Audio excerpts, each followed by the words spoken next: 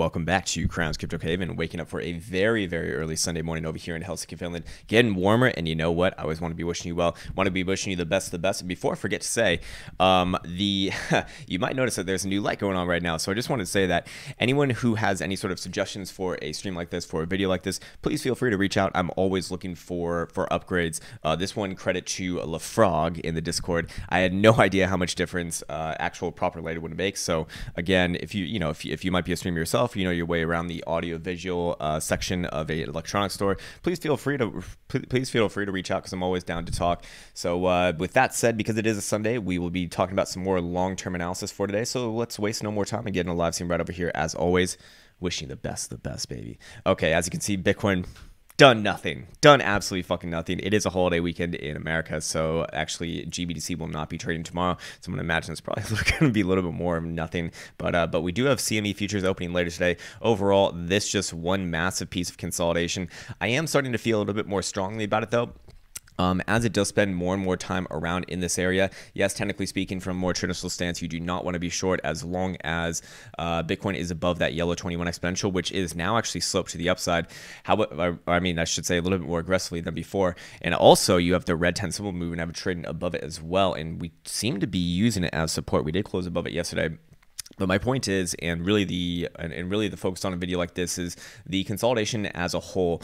You know, whatever happens during this consolidation is kind of irrelevant to me. It is a it is there are significant signals saying this is a bearish consolidation. There are significant signals actually saying that this, you know, we very well could be getting to uh, an actual local high rel uh, relatively soon as well. Now, of course, with every sort of analysis, there is, you know, there there's a counterpoint to it. No doubt about that. I'll be presenting that as well. You know, how do I know when I'm going to be wrong on this? Because I actually do have a trade going on right now um, from above 36, uh, 36 or what is it? Yeah, 36.20 or 36.30, whatever the fuck it is. Uh, but overall, you know, this this price action extremely corrective. You have the volume falling off from left to right. That tells us that this is just all one piece of consolidation. If we bring up our if we bring up our um, our oscillators right here, the 12 hour Stochs have gotten the the peaks and troughs very, very well. So I'll be using them and focusing on them. And you can see over here that actually the last peak uh, coming at the behest of this resistance trend line that we formed. So it turned right down at the actual 36, uh, 36 like 50 mark essentially, which to me is, you know, is that is a local high until it is not. Now, yes, Bitcoin does seem to be, you know, gearing up right now and and like I said, it's not like it's a one, you know, it, it's a one-sided thing. But for me, you know, the longer that it spends uh, putting it sideways here, actually, the worse it does look. So, anyways, looking at something like this, um, we do see a very obvious resistance trend line forming or formed. I mean, three touches does make a trend going all the way back to uh, to late December. This is getting this has got all of the peaks in this consolidation. So so late December, early January, and now so far early February. As long as it, as long as we are below 3650, that is what I was I will refer to this as. But that also means that Bitcoin can get back all the way to 3650. This horizontal resistance trend line right here, which now actually does meet with this ascending trend line that's been governing the lower highs ever since ever since. Um, uh, late November, and uh, and and still not change anything. So you know, if, if there's going to be some more weekend uh, fuckery afoot, well, you know, uh, a, a, move back to test 3650 certainly not out of the question. In fact, it actually kind of looks like it wants to as you see it curl around. You're getting all sorts of really good exponential movement average crosses um, on, on on even some decent time frames like this 12 hour right here. So again, I would you know I, I would put extreme importance on this area. This is the area of battle essentially for the bulls. As long as the bulls are below 3650, it's just another lower high. It's just another another another piece of this more aggressively bearish consolidation. However, if it does break above that area, if it does break above 3650, then I'd be looking towards about 3850 to 3900, and then probably for you know most likely 4000 is what I'd really be looking at. Uh, I know people you could you could um, relate this consolidation something like this perhaps um, getting this peak, that peak, and that peak. And that there are some things to be said about that. But the reason why I'm using this guy over here is because the most volume had been done on him, and it's still the best fits regression line. Um, anyways, the resistance trend line on this guy would be coming in around 30, 3750. So if things were to take off above there, I mean, it, it sounds a little bit disingenuous to say like, oh, well, you have one at 3750 and then 3850 and then 4000. It's like every fucking hundred dollars, right? That's not too helpful. Um, but we are in a pretty tight consolidation, and I did want to briefly definitely mention that. I don't really think that that's the right way to be doing it though. Um, the way that I the, the the way that I'm presenting first and foremost, and the way that I have been presenting first and foremost, is the right way that I believe, uh, or, or, or, or, my first interpretation, I should say. So again, as long as Bitcoin's below this area, 3650, I am interpreting this as a bearishly, uh, as as a bearishly induced consolidation over the past three months. Uh, basically, basically showing best by the 12-hour Stochs getting the highs so damn well. Um, within this context, you can see that this last one actually just slowly but surely shuffling it down below and, and kind of guiding it below the bearish control or sorry the bullish control zone. So what does that tell us? It tells us as the consolidation gets more and more mature, you know the bears are taking over or they're, or they're taking over faster as you'd imagine. Anyways, back onto the daily, I do want to show a couple things here. Daily Jewel did get into the area that has actually found tops uh, going all the way back to uh, to late September, except for this one off that we had in late December right here. But as you can see, anytime it gets around this this marker, which is essentially a fib number, um, it uh, it has seemed to have called tops. So again, this was you know your November right before right before 6,000 to 3,000. Essentially, this this one up above here was basically the 4,200 top. This was your 4,100 top in early January, and then we've once again gone in this area. Again, it's not perfect, but it does it, it does look interesting to me. Um, obviously, we do have good conflu confluences with our fibs over here, resting on the 618. You know, technically speaking, as long as Bitcoin's above the 618 it's I, I don't really see any reason to be aggressive in this. Um, I don't really see uh, any reason to be aggressive. And really, from a more traditional stance, this has all the markings of th- of something that actually does want to test higher. Um, at the very, I mean, at the very least, probably the 0.5, which you can also notice is the daily 55 exponential. Which you know, that's this is why I have a lot of these inputs in, is because they match up with fibs. Essentially, you see the 618 matching up with the 21. You see the 786, well, not matching up with anything, but matching up with our with our basically our, our support down around here. So you know, the story at large has not changed at all, and that's why this video is going to be focusing more on long-term analysis. But basically, you know, what do the bulls want to take out in order to actually change the lower time frames? 3650. What do the what do the bears want to take out to change the bigger time frames? Uh, 3350 would actually would actually do something could because then we would be resolving this. Do you want to call it a pennant? Do you want to call it a, uh, a, a bear or descending triangle? Whatever the fuck it is, you know, typically a bearishly resolved pattern. And uh, looking at this guy right now um, the 786 does seem to be the area of contention. Yes, if it does break, you know, you do have supports down around, you know, your prior low is 3250, but I, I don't believe that that, I think that that's just going to be a bounce, but it's probably going to fail if that would happen. The big area for the Bears to break is 3350, and I feel very strongly about that. For the Bulls, I don't feel strongly about this 3650 being the area to break. I don't think that the bull market, what I'm trying to say is I don't believe that the bull market starts if Bitcoin actually takes out that area. And right now, I, you know, as long as Bitcoin's below it, I'm going to be going with the former, with the former interpretation of it until it doesn't work essentially I'm, you know, a, a, bearish thing in a bearish market, I'm always going to go with the fucking downwards resolution of it. Just like a bullish thing in a bullish market, I'm always going to go with the upwards resolution of that. Um, but hey, if this if this area does get taken out 3650, it could have implications for something that actually does matter. And the thing and the areas that do matter to me are first and foremost the weekly 200 exponential moving average. This guy right over here, this purple moving average, which is all the way at 4100. As long as Bitcoin is both opening and closing weekly dollars below it, I don't believe that we have any real we, we haven't really changed anything anything from a higher time frame perspective as far as I'm concerned. You can see that this has been given in our lower highs ever since Bitcoin uh, began this more aggressive descent. And then also just as important, perhaps even more important because it is a higher time frame, the monthly over here. But the monthly, you know, obviously takes a month to be fucking resolved. We still got what, like another 10, 11 days, I believe. Is there 28 days in, in uh, February this, this month? I don't know. Um, but yeah, uh, you see the green 55 exponential is coming in right around uh, 3650, essentially 3669. Uh, you know, but it's same same fucking area to me as as far as I'm concerned. Um, Bitcoin broke for the first time in its history, literally in its history, uh, last month in January, closing its first monthly doodle below. If it both opens and closes below this month, which again it did open below, so it will have a chance to close below. Just has to close below 3669. Um, then I will confirm that the first. I, I would consider that the first confirmed kill of the green 55 exponential. And yes, that is when I start looking down towards this 89 exponential basically into the mid 2000s, which we'll which we'll explore a lot more during this video. Um, but basically, the way that this is set up is certainly a lot more bearish than anything else. But remember, on a monthly, it just needs to close below there. So if we actually did get a wick above, if we you know if, if Bitcoin went to you know even 4,000 and and then ended the month back below 3669, then that would be completely fine from a monthly standpoint. This would just look like consolidation, as you can see, just lower high, just literally the wick of each of, of each dildo is lower, uh, starting from July of last year, 2018. Um, and this guy over here just kind of, you know, obviously it would be considered a consolidation as these moving averages approach each other. If they were to cross, then that's going to be the impetus for bots and algos intensifying their selling. That is, you know, that's going to be the next leg most likely. Um, so again, just kind of laying out what it can look like in the future. But remember, this is something that's going to take, you know, it's going to take what, what the fuck's going on with my phone over here? Um, uh, that's something that's going to take time because we're looking at a monthly right now, and you know, quite literally, it takes one fucking month to put in one dildo on this guy, right? Um, anyways, go back on to Mr. Bitcoin. Uh, that pretty much gets it for the higher time frames. I mean, if we really want to do a quick blaze through the uh, through the lower time frames, there is something very interesting here for the bulls. There's something very interesting here for the bulls. There is a four-hour golden cross right around the horizon. If Bitcoin can can essentially keep the price action here or higher in the next, I would say, in the next like day or two. Uh, you know, and, and, if there's a rally, it will get the Golden Cross. It will. Um, and let me just remind you what happened the last time we got the Golden Cross.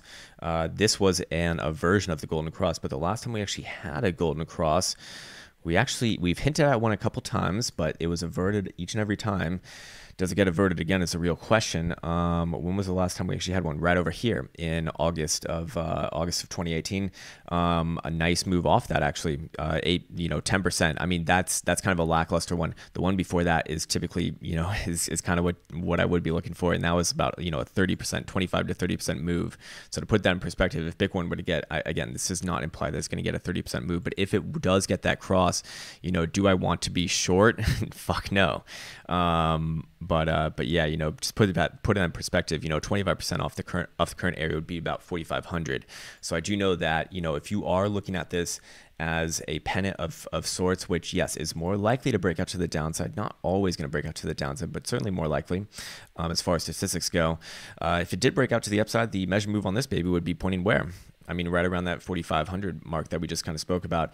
By the same token, if it does break out to the downside, which I do believe is more more likely, um, then it does have a measure move down around here towards 23 to 2400. Remember, that would be consistent with what we just looked at on the monthly. So again, um, that is, you know, that uh, that is something of great interest right now because we have not seen one quite literally in, you know, like I said, about about half a year. And if it were to happen, likely going to likely going to have some severe implications. Um, typically, these things get averted like at the last second if it is going to get averted, and you do see a very similar signature in price action here, where Bitcoin was consolidating, albeit not as long as we've been doing over here, and they kissed the the, the green the green 55 and the purple 200 are the are the moving averages in question, by the way.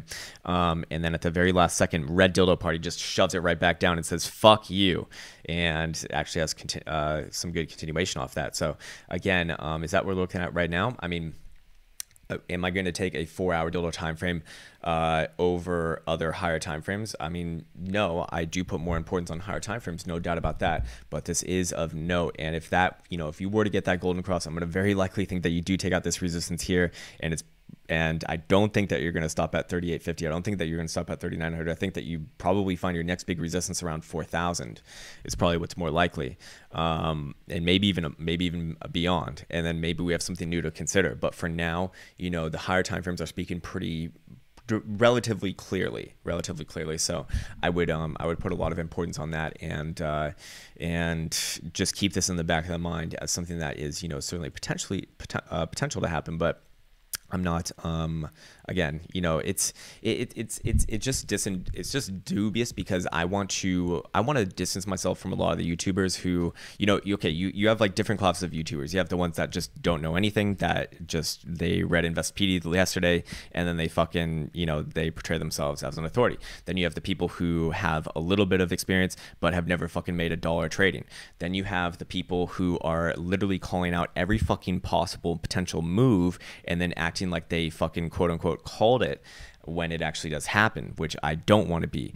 I want to actually give a little bit of, okay, well, this is what I think is going to happen, but you know, here's what I look for, and if that's going to be wrong, which is all trading is, is statistical setup. That is what real trading is, and that is how I try to, and that is that is the way that I like to verify myself and, and separate myself. Um, but uh, but but but basically that's essentially what I have for the lower time frames on Bitcoin and the medium time frames. Again, nothing's changed here. You know, any video that you've seen in the last uh, in the last week is going to be essentially the same. Um, but uh, but yeah, looking like Bitcoin's actually poking its head up right now. Lower time frame oscillators are actually showing a little bit. Uh, were they showing exhaustion? Not really. Uh, four hours still pointed up. What about three hour? Three hour is snaking around, but technically up right now. Uh, what about six hours? Six hours still gaining momentum up. Eight hours still gaining momentum up. Twelve, 10 hours still gaining momentum up. It's just the 12 hour and daily that are down. Uh, two day and three day are up as well. Actually, if you want to, uh, if you want, if we want to quickly just take a look at these guys, yeah, two day is getting right back to the neutral zone. So, you know, if, if resistance is going to be found, I would imagine it's probably going to be somewhere right around there. Three day is just getting started. Actually, I mean, it is, you know, it's a three day little time frame. So, uh, weekly and four day are actually still down. By the way, weekly we will be getting another tick later tonight at 8 p.m. Eastern time, or sorry, 7 p.m. Eastern time, and you can see that it is still actually gaining momentum to the downside. So that is quite concerning as well. Uh, Bitcoin will be battling for the red 10 simple moving average today, obviously, and if we do want to go back on over to GBTC, which again will not be will not be trading until Tuesday, I believe. Um, again, uh, US is on holiday. They actually did close the week below the red 10 simple moving average. And one of the things why I'm actually very hesitant to be bearish right now, um, and why why I'm hesitant to put on like a real position. I don't have a real position on right now. I have like a I have like a quarter to a half position, uh, again from 3620 uh, um, that I'll be holding as long as we're below 3600. As long as we're closing hourly loads below 3600, I hold that. Again, it's just a trade. Um, and if it gets above, then I'll reposition probably maybe at 4000. Um, so again, you know, looking at this area, we actually did close it daily above the yellow 21 exponential, which to me kind of speaks a lot. Now, of course, we, we need to wait. We need we need to wait for Tuesday to see what actually happens if we get continuation. If we actually take out the high of this guy, then things get a little bit more interesting. Yes, you will still have your former highs as resistance. That's going to line up with spot being around 3,700, I'd imagine. By the same token, if you take out the low, then that would be a pretty damn clear signal as well. We're probably going to revisit lows. So, you know, sorry, and I, I, I think I forgot to mention that on spot as well um, spot, you know, you have your 30, you have your 3550 support right here, 3530, whatever you want to call it. Basically, the 618 Fibonacci retracement is where we've been finding support around. Also, you know, the 200 exponential on the four hour. Uh, if, if Bitcoin loses that, I believe it's probably going to, you know, it's, it's probably going to nosedive back to its prior lows at 3350, 3400. Uh, technically speaking, yes, you do have support at 3485, but it's probably just going to be a balance, probably going to get sold into if that, you know, if this critical area were to be taken uh, off of. So again, bulls need to defend this area, bears need to attack this area, and uh, and bears need to defend this area, and bulls need to attack this area. That's, those are the two areas of you know of of actual signaling something new going on. Until that happens, just more consolidation within the context of this of this overall bearish formation, but in a very very tight area. Um, so yeah. Uh, tight like a tiger baby. Uh, also keep in mind CME futures, which will be opening tonight, they will be traded later today. Uh, did close the week at 35.60. So they close the week at 35.60. So that means that there's going to be kind of like a, I don't want to say that there's a magnet. I don't want to imply that there is going to be like, I don't want to imply that that that that spot prices have to go exactly to this point right when they open. I don't want to imply that because that's not true. But typically speaking, every every gap in in regular market history has been filled, and in Bitcoin history so far, it's been pretty damn good as well. Um, in fact, I don't believe I've found one that's been unfilled, and typically in Bitcoin land, they do get filled faster, fa- uh, sooner rather than later, but there are instances where it's actually taken a month. Uh, I would imagine on something like this, it's not going to be one of those ones where it takes a month, unless if it's actually going to be a gap up. Um, but I again, I, I think that's less likely. Uh, remember that you know daily on CME futures did close as a nice rejection off this horizontal trend line. And by the way, the CME futures are a little bit easier to read. I believe they we have a very obvious ascending triangle. I don't believe that it is a a, a pennant or anything like that. Uh, the volume pictures are very consistent with that. We do have that nice orderly drop off in volume. You see that you know going from left to right. We do see basically uh, basically as far as I'm concerned another rejection of this area, another another brush against the overall resistance resistance. And we do have our daily Stochs getting back into this area, which has actually stopped each and every last high since November. Sorry, not even November, October. So October high, November high, right before you know 6,000, 3,000. This was your this was your late December high from 42. This was your early January high from 41, and we're right now again in this area, and this will be opening up later tonight. So again, you know, and after a rejection like this, I I would I would believe that we'd probably have something, you know, most likely most likely next move down. We also do have some hidden bearish divergence between this point and this point, very slight and very subtle. Um, maybe if we put on a two day, it'll be a little bit more pronounced. Nope, we don't even have it on a two day actually. Yeah, we don't even have it on a two day. So be a little bit more careful with that then. Um, but yeah, you know, uh, CME futures uh, would actually be the would, would, would be a better signal just because you don't have to wait as long. And I do believe that they have more, they hold more clout. You know, it, it means more um, if Bitcoin would actually take out an area on this on this guys. So when they do open up at 6 p.m. Eastern time later tonight, then uh, then keep your eyes on this 3620 area. If it actually does start closing some higher level dollars above there, then you know look for a spot to take a leg up. Um, by the same token, you know, obvious support is right here, 35.20 on CMEs. Uh, 30, why is it 35? Yeah, 35.25 we call it. Second, it breaks that, probably back down to form lows. Technically, yes, you have support at 34.50, but probably gonna break it after that. You, are not gonna you're not gonna spend uh, eight to nine days consolidating this area just to like just dip a little bit lower and then and then just rally back. Uh, very unlikely. The next, the, the the break, the resolution of this consolidation is likely going to be the next big direction. Um, we spent a lot of time in this area a lot a lot of time also you know some of our some of our higher time frame um, you know uh, what, do, what do we want to call these i guess i'll just call it i'll just i guess i'll just use the actual real name but the historical volatility rank does have great insight into what we're doing right now as well. And you can see that this is getting pretty damn low. It's almost at that point one that not point one area that does line up with some pretty massive moves happening. I also do you want to bring up some underlying market dynamics going on right now as well. The longs and shorts longs are at 35 600 actually let's go check what it is in real time. Actually 35 35 800 oops, this is not relevant, um, but 35,800 on longs. So almost 36,000 uh, open longs. Again, anytime it gets above this this horizontal trend line that I currently have in, um, that is too many people on the bust syndrome. It can certainly take a long time to, to stay above there, but it is on my radar of you know a potential major dump time. Compare that with the shorts, which had which did add in the last day. Uh, certainly not as much, but a, a little bit below 24,000. I think a few thousand of those are hedged, so we probably have somewhere around 20,000 uh, open shorts let's just go check really quick. Yeah, about yeah, literally twenty and a half thousand open shorts, uh, naked. Um, uh, and looking at this guy right here, you know, it's down around that area where typically does line up with major dumps as well. Because right now, the Bulls are using a shit ton of their dry ammo to go in dry and the bears haven't really responded at all. And and bitcoin is is below that critical resistance that we just spoke about. I mean not even a critical resistance but the first preliminary resistance. Remember there's three big ones. There are there's one that we're looking at right now which is about 3650 on spot. Then there is the weekly 200 exponential and then there's the monthly green 55 exponential Bitcoin isn't taking out any of them right now, and it's historically speaking on the higher side for longs. I mean, uh, you know, it's it's it's gotten up around to forty thousand before, but thirty six is pretty fucking big. Uh, this is you know similar setup to what you had on your breakage as far as ratio wise uh, before six thousand or three thousand. Shorts over here again. Anytime it gets uh, to, to like the low twenty thousands, which typically like below twenty thousand, not above twenty thousand, which we are above twenty thousand right now. Uh, it does line up with the major dumps. You know, this spike, this spike low over here was your March highs. You know, before before that major dump from about 12,000 to 6,000. This was your May highs from 10,000 to 6,000. This was your you know early August, uh, sorry, early yeah early August dump from 8,000 to 6,000. This was your early September dump from 74 to 6,000. This was your November dump from 6,000 to 3,000. Once again in this range, so that is of note as well. You know, putting piecing together the underlying market dynamics does kind of help around out the case here. Let's also bring up the crypto fear and greed index, which is ticking out of 43. If you remember, it was a four, it was like a 48 or 52 the other day. Um, it was the highest that it's been in, in, a very long time. Yeah, it got all the way to 48.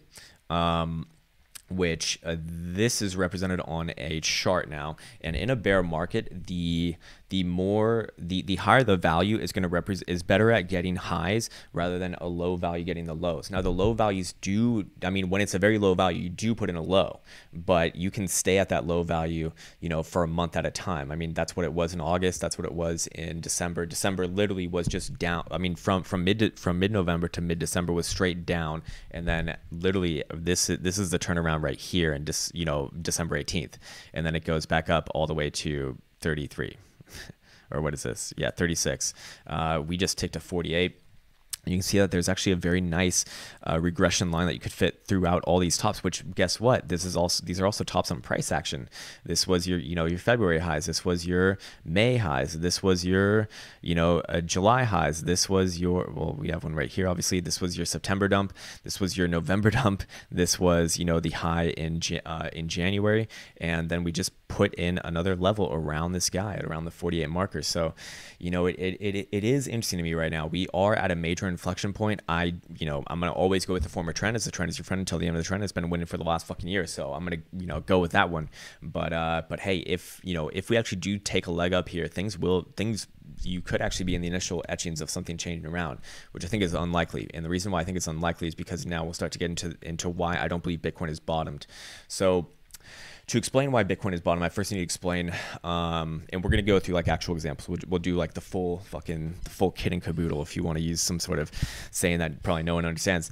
Um, but basically, uh, what am I trying to say? So with Bitcoin, why do I believe it's not bottom? Well, to understand that, we need to understand that market cycles amongst different assets are pretty damn similar in a way. They have principles that relate each other, and then each and every little asset trades and it's like its own little personality within the governance of those rules. I don't even want to call them rules. I want to call them like guidelines. Um, but I've noticed this amongst all different assets, whether it's you know whether it's commodities, uh, forex, whether it's uh, you know where I come from as an equity options market maker, whether it's Magic Internet Money and what we're looking at right now. Market cycles are pretty damn consistent. Why is that? Because basically we're dealing with humans. We're dealing with human irrationality. We're dealing with human imperfectness. We are dealing with human you know emotions, emotional, the the the psychology of the market, which we all pretty much share. I mean, even a bot is programmed by what? He's programmed by a fucking emotional human. So in some degree, he is, you know, those, those bot, those algorithmic um, activities are in a way, you know, they're programmed, program behaviors, right? So we can see these very similar, uh, similar behaviors over time. Bitcoin has a very, a very unique personality in the way that it plays out its market cycles because it's just so fucking violent. But it does still rely within the guidelines of, um, of, of, what, of, of what we look at. So what I look at for a major market cycle low is first things first, I want to see major volume being thrown down on the actual low. Now I know I'm on Bitstamp right now, but you know this this is essentially consistent for all. You know, so, someone gave me uh, so, someone was saying, Krown, why do you use Bitstamp? No one uses that exchange. It's like okay, well look at the chart over here. Does it look anything different than this guy over here? This is GDAX. Does it look anything other different than than uh, than Finex over here? Okay. Does it even look anything different than Japan? Not really. Does it look anything different? Well, Korea's going to look different because Korea's bullshit exchange too. Um, this is this is OKCoin futures. This is not going to really work out. Um, but yeah. Uh, I mean, it's completely, completely different. But, but yeah, going back on over here to Bitstamp, you know, do we have the volume consistent with what I want to see on a major market cycle low for Bitcoin? I mean, to understand this, you need to understand the way that Bitcoin has its personality. And usually, when it puts in its major market cycle lows, it has a massive volume spike in relation to what you did in your parabolic cycle over here. So I'm looking for something analogous to this guy over here, some you know somewhere somewhere in the future, most likely well, it's not in the fucking past. Uh, as you can see right now, it's significantly lower, and this is much, and this is incredibly significantly lower. Why do I say that? Because well, this is measured in coins traded, not dollars traded. So when Bitcoin is literally three to four times the price in you know last year, uh, it is you don't need to put on as many coins to have the same sort of exposure. So so this is really significantly lower. Um, not, a, you know, what we really have is something a lot similar to this guy over here in relation to this guy over here, which look at the price action right there. You know, that was obviously not your low. Anyways, um, the time spent at the low is also not really consistent with the way that Bitcoin puts in its lows. Bitcoin spent at the current low one, two, three, four days at the low. As far as capitulation goes, we actually do have an example. We have two examples of tw- in 2018, but one very obvious one, and that was in February of 2018. And the way that Bitcoin plays out its its its lows is that it spends like a literally less than a day there, but I'm, i have it on a daily dollar time frame right now, and then it rallies up 35 fucking percent within that day, which brings me to, to my next point. Bitcoin over this whole period has rallied up like you know 25% over the course of literally 12 weeks or 13 weeks now. Compare that with one day 35%, 25%, 12, 13 weeks. One day, and this is really done in the span of like four hours, uh, by the way. We also have another example of capitulation, obviously, in the 2014 mark cycle over here. And you have the same sort of thing, right? You have the same sort of thing where within one day, it the price of Bitcoin goes up almost 40%, 40 fucking percent. Again, one day, 13 weeks we actually have another example of what capitulation could be like. People, I might get some shit for this one, but this is actually true. I do believe this. But for, but from twenty thousand to ten thousand in the span of uh, like four days, that was what capitulation can feel like. And Bitcoin, again, how much does it bounce up? About thirty-seven percent in the span of a day. So again, you know, the time spent at the low, not consistent. The percentage bounce off the low, not consistent. The volume spin off the low, not consistent. Look at the volume over here, by the way. Um, also, what else we have to look at? Let's look at the NVT signal, and I'm going to bring be bringing up a lot of uh, a lot of novel things now. Some more some more uh, work from my man Woo. I actually don't know Willy Woo. I'd love to have him on the on the show sometimes. Or sorry, let's actually talk about the historical volatility rank while we're here. Historical volatility rank, if you're not familiar with it, it's basically a mean reverting oscillator that oscillates between zero and one. It tells you that if you're at a major inflection point in the market that is essentially you know reverting back to a mean price over you know a period of, of, of, price action essentially. What it basically tells you is that when it's at a one you're probably done with the move. When you're at a zero you're probably due for a major fucking move as you can see on the current low on Bitcoin, this thing never got up that high. It got up to a 0.66, which compare that with our major inflection points before, which just because it takes a one on these things when it flashes a color, just because it takes a one does not mean that it's the ultimate high or the ultimate low, but it is a major high or a major low. You can see that it did it at, at this February low right here, uh, 20,000 high right here, this low over here, this high right here, this low, this high right here, this low right here, this uh, low right here this high right here, this low right here, the ultimate low of 2014, 2015 mark cycle. Again, a lot of things within there. Now, so so you, so you can kind of get the uh, the signaling of that. By the way, this is also descending as well, so telling us that this consolidation probably getting resolved pretty damn soon. Doesn't usually stay this low. Uh, anyways, I'm going to click this guy off now. Let's get on to the NVT signal. NVT signal is has a perfect history of calling the of, of calling the bottoms in Bitcoin's history. Each and every single time it's flashed a green, it has either been a major bottom or an actual market cycle bottom, like never going lower, bro. That kind of shit. And looking at this guy, uh, what's going on? My Jesus Christ, my phone's going crazy right now. Um, and looking at this guy right now, you can see that do we flash a green? Do we flash a buy signal on this guy? Uh, as far as this goes? No. We are literally above 100 right now.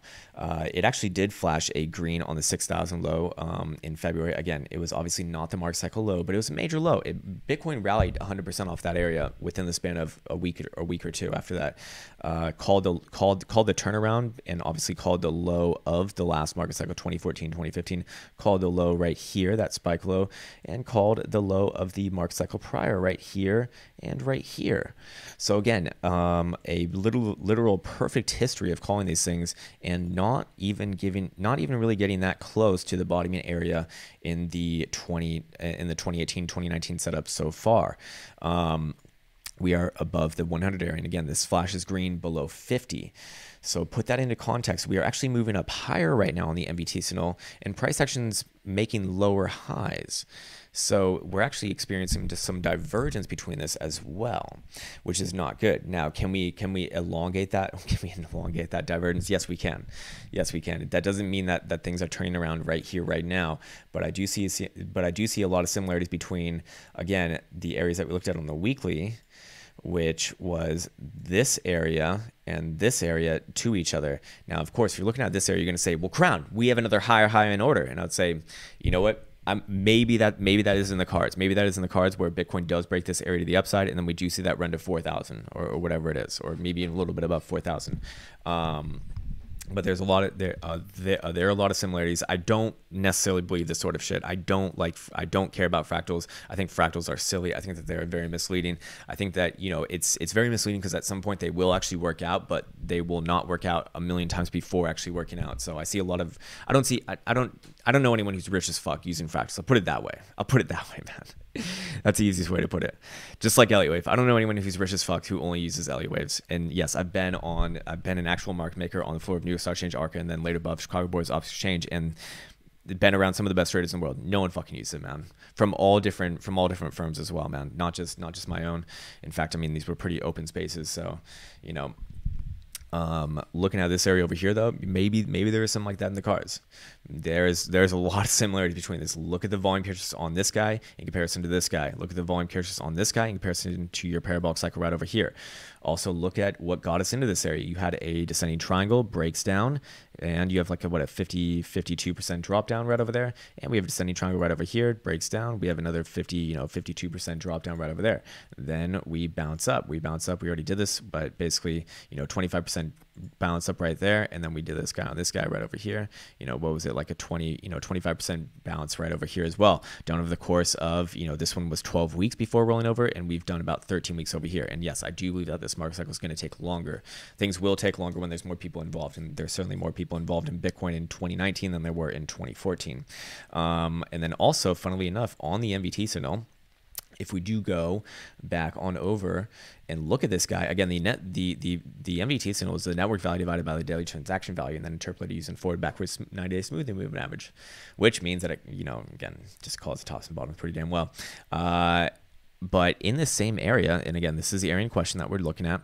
Um, the NVT signal was right around the same areas, around this this 90 marker. And in fact, it put in this high at the 111. I'm actually going to mark off the high on this. I've not done this before.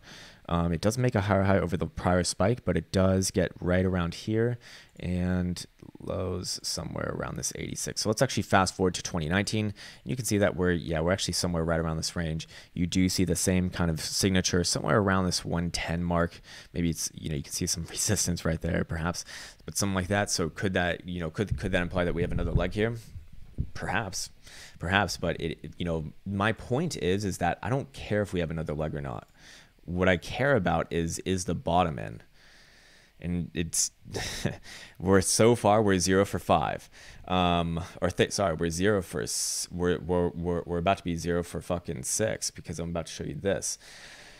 Okay, um, as far as market cycles go, you don't want the asset returning to the low because what really is a market cycle low or a market cycle top is basically when the big boys decide to buy with extremely deep pockets will come in and set a floor.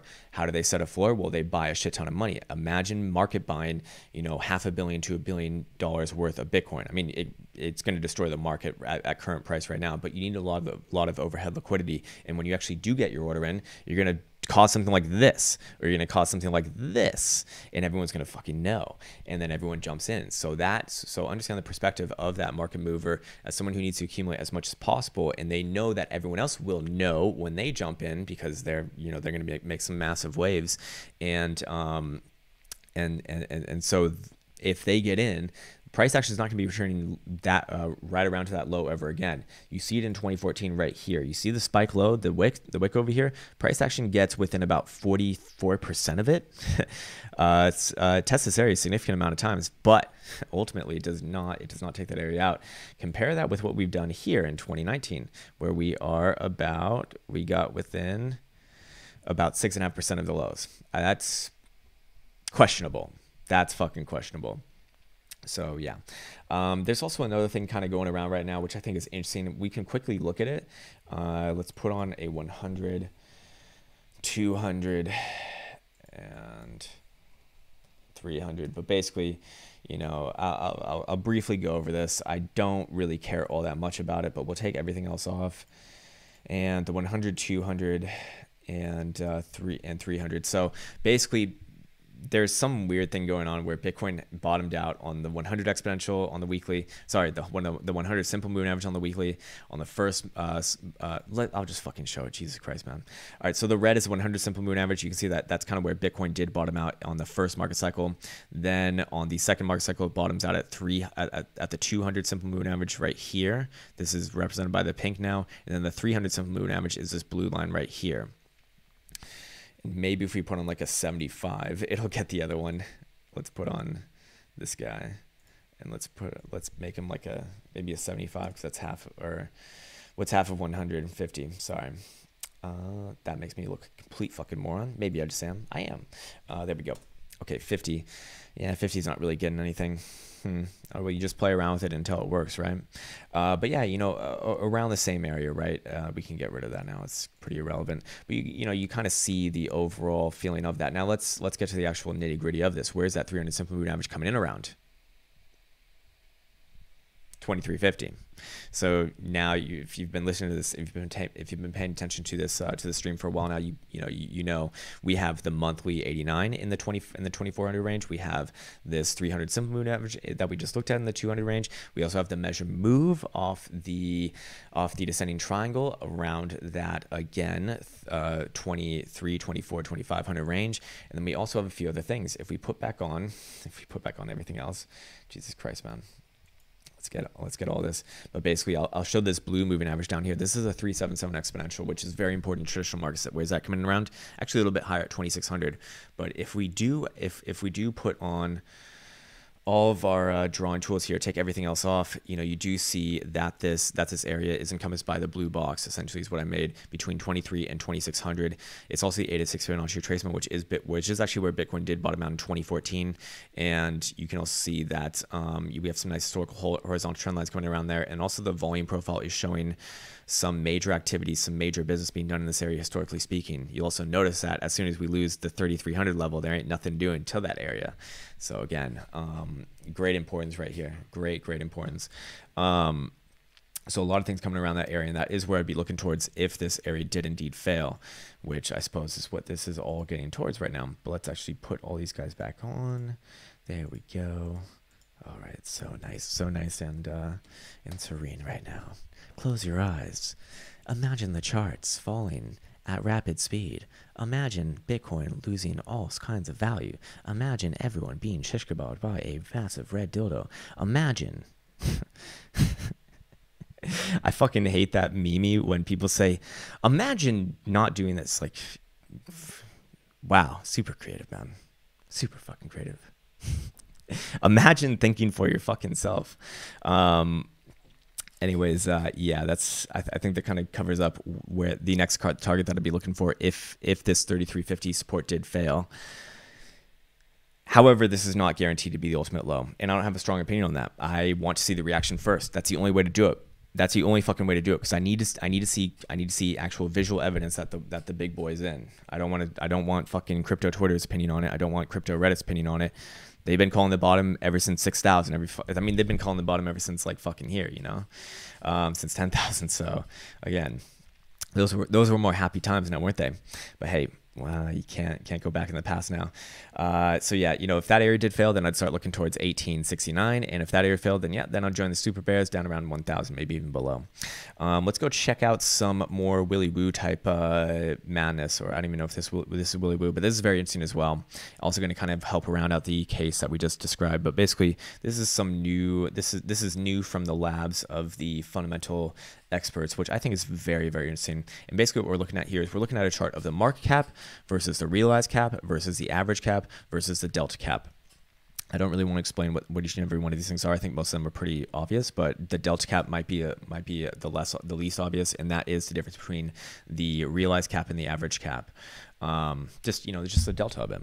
That's all. Um, but you, but the the the interesting thing here is that we do see when the realized cap and the uh, and the delta cap meet each other, that calls tops. That's the orange and the purple.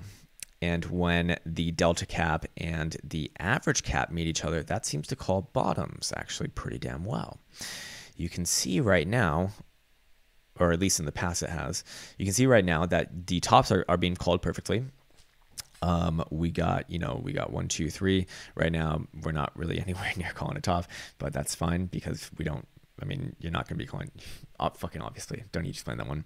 Um, but the bottoms, as far as I'm concerned, are very interesting right here because you do have good confluence right there, right there, and right there with actual lows being called. Now, this is probably a leading indicator though, because or sorry, it's it's more for like the actual bull market starting, and you can see that it doesn't call the low. I mean, it, it does kind of tell you the low over here, but over here it does not get you the low. It gets you the turnaround. It gets you the turnaround, which is perhaps even which is perhaps more important for an investor because you don't want to have your money in, in an asset that's not fucking moving. That's you know, there's an opportunity cost to that, right? you can see over here that we're nowhere near closing the, the gap of these two. So what does that tell us? It tells us that the turnaround is pretty far away. And if you were in, and actually the article goes on to say, um, or at least extrapolate this area for, forwards that you know, if Bitcoin were to stay around this area, it probably wouldn't be until 2020 um, where you know where where the market does start turn around, which would actually make sense to me. I don't I don't think Bitcoin's getting back above six thousand this year. I think that's very unlikely. Um, could it happen? Sure, but I pretty fucking unlikely, man. Um, let's go check out the Bitcoin valuations because this is also very interesting and, and, and, also very consistent with what I'm about to show you on my charts. But basically, basically they found that the how do I want to explain this? Um, basically, they found that this dotted line here, which is essentially your your your average cap just basically the average your average the average of your market cap has been calling has been like kind of uh, it's, it's like it's almost like a, the lower end of a Bollinger Band which calls the lows pretty damn well. Where is that coming in around? It's coming in around you know it'd be right around here which I'd imagine is obviously be uh, above the the high of the last of the prior market cycle. And that would probably be around that 22 to 23 to 2400 range. So again another thing kind of aligning with that you also do see this upper uh, the the upper band here and that would be coming around 90,000, which I'm actually going to go forwards and show you how I think that Bitcoin can get there as well, which I am a believer in Bitcoin long term. Uh, but also important, you do see all of these other moving, all these other, all, all these other lines, which they're they're all they're all presented down here. I don't want to go through all of them, but basically the important part to be aware of is that when they all converge, when they all go towards each other, that's typically when mar- the market does bottom. When you have all these things co- converge on each other, you have an inflection point here, here. You have an inflection point here before the ultimate turnaround. You also have kind of right there, and then also the low of 2014, 2015. Um, and as you can see right now, and the reason why I bring this up is because in the current area, let's bring this over here, you can see that they're not converging on each other. They're actually like splaying out. So again, this would be suggesting, at least as far as as far as I can tell, would be suggesting that we are ge gearing up for another move down, most likely um, on like the very high time frames. Remember, we're looking at a lot of we're looking at a, at a huge amount of price action right now, but just wanted to bring that out. All right, so back on to Bitcoin right over here. Um, so now let's get to some future projections. Again, um, you know, as far as far as Bitcoin goes, uh, I am a believer in Bitcoin long term, and this is something that is highly, you know, what's what's a good word for this? Highly uh, experimental. I don't i i'm not making decisions based off this what is what i'm trying to say but basically each and every one of these dotted trend lines represents a support trend line. Um, each and every one in bitcoin's history of a, of a parabolic market cycle. You have this first one in 2010 and 2011 it gets broken in 2012 right here. And this same trend line becomes your highs in 2013 and 2014 and 2015 market cycle here. Then we create another support trend line for that next market cycle right here right here in 2012 and 2013 supports. Anchors and then it gets broken in 2014, 2015, and that becomes the highs of our 2017 and 2018 market cycle right here. Then we created another support trend line for this past market cycle that we just played out, right here, uh, anchored right here in uh, on the turnaround, and right here on the beginning of your bull market, and that was broken in 20 in, in November of 2018 does that become our uh, does that become the governing factor of our highs going forwards? Well, maybe. So let's do let's do a projections. Um, you know, it, and this is just saying that it would it, it, could be like the potential high, not necessarily it's going there, but you know, like uh, basically think of it as, as like the the upper end of a Bollinger Band, which also doesn't necessarily tell you the side, but so far so good. Um, at the end of the year, uh, beginning of 2020, the, the potential high would be around 14,000. I don't even, I don't even think Bitcoin gets past uh, 7,000, half that. Um, uh, but here, let's let's look at it when it gets to 2022. What about when it's 2022?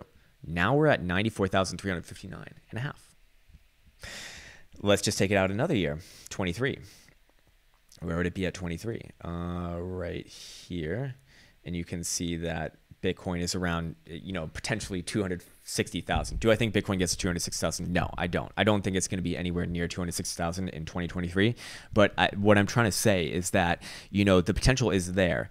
And, you know, you can just extrapolate this further and further. And as Bitcoin's market cycle, as Bitcoin get, becomes more mature, its market cycles will elongate as more people are involved in the market. It'll take longer. So these bull market cycles will, you know, will, will likely, you know, be something way more out here. Again, I'm just, I'm, this is an example. I'm not saying it's 2024 to be very clear, uh, would be some out here, which you can see that the potential is significant. I mean, this would this is literally like six hundred thousand. I do I believe that Bitcoin's going to be six hundred thousand by twenty twenty four in January. I'm I'm not standing by that one. I'll put it that way. I'll put it that way. Um, we also do have some interesting as well but you know just keep in mind that 90,000 number basically basically very synonymous with what we looked at over here on the top uh, band um, going back to the BLX index, we do have some interesting as well with regards to these descending trend lines, right? This descending trend line right here is related to this descending trend line right here. Why? Because it holds in that first consolidation before the bull trap of that market cycle, which was then caught by this next trend line, you know, this trend line over here, which caught that bull trap. But it, you know, if we were to put on the signal, it was it was the it was it was the consolidation before the breakout before that first, you know, that that that uh, that that next dead cat bounce signal essentially. Anyways, the reason why this is relevant is because after it broke out of this guy, it actually bases on it and it never goes lower. It never never goes lower, bro. After that, which was right here in uh, on, on a spike low and right here on another spike low, your ultimate low on the 886 Fibonacci retracement. Well, look at the same the same trend line we've actually based off of it once at the th- at the 3100 level. And if we and if we can extrapolate it going forwards and kind of look at the other perhaps downside targets we can come up with some with some dates for this perhaps. And you could see that if we were to get down to that you know low 2000s area that would suggest actually a timing you know late this month. Late this month. Now do i believe that's going to happen? I mean I mean, it could just be like a quick wick, you know. I mean, it, well, that's actually yeah, that's actually not right to say because what if you get a wick down here and then it closes above here? You could do. I think that's honestly what I think is going to happen. Is I think that you're gonna you're gonna get like a quick wick down to like 1800 or 1800 a share and then close above 22 to 2300, like something like that. And now you know that would suggest sometime around like you know mid to late April. So again, do I put that much weight on this? I mean, it's fun to look at, but I should also mention that this that this secondary descending trend line that actually once Bitcoin breaks above that, that is the beginning of your bull market right here. You can do the same thing for the prior market cycles as well. You have the same thing right here. You know, you break above it. That's begin. That's beginning of your bull market cycle, um, and you can do maybe the same thing over here. So maybe come up with a date for it actually turning around. Which again, the price action would still be around 2,300, but it would be like the earliest indication perhaps, and it might be end of year. But again, price action would still literally be like well below 6,000, well below maybe even 3,000. Um, that I don't, I, I don't know if I stand by that. It's just, I think it's just interesting to look at, fundamentally masturbate about, you know, blue brains, very, very bad for your health. So keep your mental masturbation, um, you know, clear and direct and typically with lubrication. Um, okay, so back now over here for Mr. Bitcoin. I think I've covered up everything that I want to say on Mr. Bitcoin basically literally in this in the last hour that I've been speaking, it's moved two dollars, two fucking dollars. Now let me remind you, the last time that we actually did something like this, you know, uh, like like a, more than a week of sideways essentially was here. After remember this pump up, you know, it, I think we had like some sort of tether scare. Uh, Bitcoin pumped up and then gave up pretty much all of its gains and went sideways for about two weeks, a week and a half, two weeks. I mean, that's kind of what this feels like over here. You know, pump and then no follow through. It's, you know, could it take a leg up? Yeah, sure. I mean, I just don't. I, I guess I'm not. I just. I guess my main point is that I'm just not too concerned because there's going to be a big trade likely to the downside relatively soon. I don't believe that the lows are in. So whether it's here, you know, I I, believe it's it's worth trying out a trade right now. Uh, or at least, sorry, not right now, not at this price point. I've I've entered from much higher. Um, and it's also not a full position. I'll, i want to add on an actual break of 30. What I'm more what I'm more happy to do is add on a break of 35.30. Um, but you know, it's you know, I'd, I'd, be happy to try a position here, and then also you know somewhere around the 4,000 mark. That's uh, that's initially you know my plan. Um, and you know, managing risk on this trade is pretty damn easy. I mean, I'm lucky to be in, in the position that I am right now because on this trade, you know, my stop loss is essentially in profit. So it's, I mean, it sounds so fucking. I hate it when fucking crypto Twitter people say that. It's like stopped out in profit, all good. It's like whatever, man. Yeah, most of the time when I get stopped out, I'm not in profit. I'll put it that way. I want to be very open and honest, man. Most when I get stopped out, like the goal is to not be in profit because I want to make sure that this trade is not going to go in my direction now. That's what I need to. That's what I need to risk to find out. Um, okay, we can go over alts really quickly now. Uh, XRP, Mr. Ripple's nipples closing below all major moving averages yesterday. Uh, not looking too healthy right here. Uh, daily Stochs are are coiling up and are and are losing momentum. So fair enough. You know, if, if it does get back above 30 and a half cents, 31 cents, I mean, this thing can run all the way to 40, uh, 34 and a half cents. You do have this nice uh, symmetrical triangle right here. The measure would be somewhere around this range. However, as long as you're both below 34 and a half cents, nothing's really changed. It's just going to be this can be more nothing. If you do break to the downside, obviously by the same token, then bad. 20, uh, 28, 28 cents this year to hold. So it's actually got some nice buffer right there. Stellar, Stellar Lumens.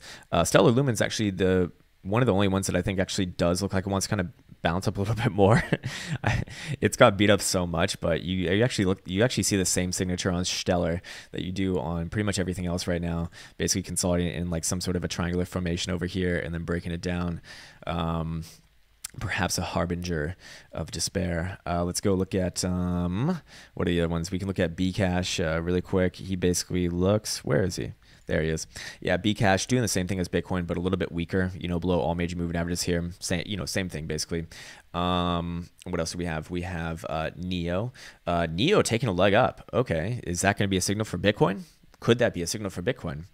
Uh, not taking out this resistance, so that is the critical area to be aware of, with this resistance being about 950. Um, but this is interesting to me. This is interesting that that Neo's actually taking a, a little bit of a uh, little bit of a, of a leg. Do we have new highs here? 869, yeah, 885. We do.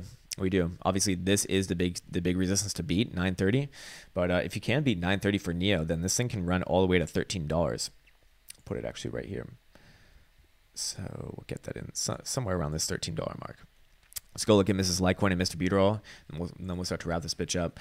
Uh, Mrs. Litecoin, um, holding above the 10 simple, it's very resilient right here. Very resilient. It wants to, it, this Mrs. Litecoin is the best is the best case for Bitcoin make, uh, making another run for it right now. Yes, you are right at resistance. You are right at this horizontal resistance at 43 and uh, 43 and a half, but it, it looks like it wants to go. It looks like it wants to go. Uh, Daily Stochs, Still coming down, losing momentum though. They are losing momentum. What about four hour? Four hour Stochs actually just crossed down. What about eight hour Stochs? Eight hour Stochs still get still headed up. Ten hour Stochs, they're still headed up. What about two hour? Two hour are down. Okay, so very low time frames and very high time frames are down, but medium time frames are up. Uh, if this one takes out this area, it's gonna it's gonna have another run at the prior high at 47. I mean, not like prior highs like 400, but like, you know, the prior high of this uh, of this run over here. But as long as you're below 47 and a half and and more and, and more conservatively like 50 and a half dollars, not really anything too too interesting. Um, from a higher time frame perspective, just more, you know, as long as you're operating below this this kind of block, uh, still overall in in the heavy grips of bear market territory. Let's go look at Mr. Buterin. How's Mr. Butterworth, Buttersworth doing? I see that he's up a little bit right now, looking like he wants to take another leg up too. He do, this one looks like it wants to go up. It does look like it wants to go up. Uh, daily closed above this ascending trend line. It's very low volume, extremely low volume yesterday, but it did close above. Now, daily Stochs are snaking around. They want they they look like they want to go up. If Mr. Buterin closes the day here or higher, uh, 12 hour looks 12 hours difficult. Um, 12 I, I, think 12 hours more positive things than negative things so yeah if i'm looking at mr Buterin, i would be i'd be a little bit more bullish uh four hour golden cross and it is still it's still kind of grinding its way around here if if you t- if mr Buterin closes a four hour dildo above 126 uh i I think this one's probably going to run. It's probably going to run. Uh, I don't see anything stopping you from where. I mean, 135, and you know, if things get crazy, 145. I, and I would think uh, my, my opinion would be 145. You see Bitcoin at 4,000. That's kind of what I'm thinking right now. Um, so again, ooh, Bitcoin rallied another two dollars. Big deal. Um, so yeah. I got to start to wrap up the most important things around Bitcoin. Of course, you know, don't again. I don't trade my opinion. I trade technical analysis. What what's technical analysis saying? As long as you're above 35.30, hard to be bearish. As long as you're below 35 or 36.50, hard to be bullish. If you break above 30 technically, you know, you do have resistance at 3850, but I my opinion is that you probably run all the way to 4000. By the same token, if you do break 30, uh, 3530 uh, to the downside, probably revisiting your prior lows. Although yes, you do have support somewhere right around 3480 or something like that, 3450. Uh, but at that point in time, you know, I'd be thinking like breakage of the overall formation to the downside rather than rather than anything else. So that's going to do it for today. Hope this one finds you well. Again, another long-term analysis video in the books. Hope you had fun on this one. A few new things uh, to be aware of. And overall, uh, I hope that the message is clear that overall I am bearish. It's just a question of does does the next big high get put in here or do we get a little bit of a run beforehand? Um, both ways, you know, again, you're never going to you're never going to fucking know 100% for sure. I can only present the case and then come up with statistical probabilities and then make trades based off those. And that's how you can be successful over a long period of time is just finding finding those good statistical setups. So if this trade does not work, if if if Bitcoin gets back above, I mean, really even 3,600, but really 6 3650, more importantly speaking, um, you know, for, for, for like the overall picture, then it's gonna be it's gonna be time to hold the horses for a little bit. Uh, okay, so that's going to do it for today. Hope this one finds you well. Again, wishing you well on this Sunday, and also please do if uh, if you are you know if you're if you make videos or you're new or you just know your shit when it comes to uh, to audio videos. Hey, feel free to reach out, reach out. I'm always looking for upgrades on uh, on this video, so. Uh, so I'd be I'd be looking forward to that. All right. Anyways, uh, I'm gonna be signing off now. I'm gonna go eat some food and drink some coffee. Looking forward to see you guys soon. Take care.